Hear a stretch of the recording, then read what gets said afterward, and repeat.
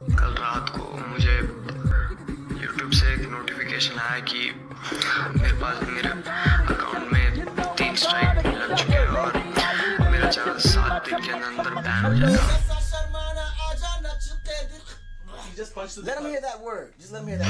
तो कैसे हैं आप